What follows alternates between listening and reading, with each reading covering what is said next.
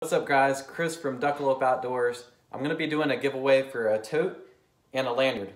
I already sold the other one. I made a second one because it seemed like a lot of you wanted it and I figured it'd be fun to do a giveaway. So hop over to my YouTube, make sure you hit subscribe, take a screenshot and shoot it to my Instagram DM. If you're watching this on Instagram, same thing. My link is in the bio for my YouTube and that's all you got to do to enter.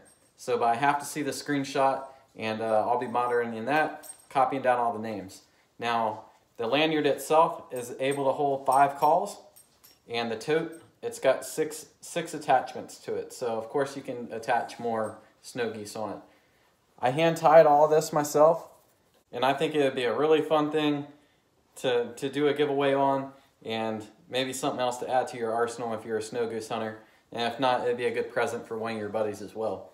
Now, the drawing will be next Saturday, at 9 a.m., which the date on that would be January 16th at 9 a.m. Eastern Standard Time. It will be live on Instagram. I'll do a story on Friday just getting everyone prepped.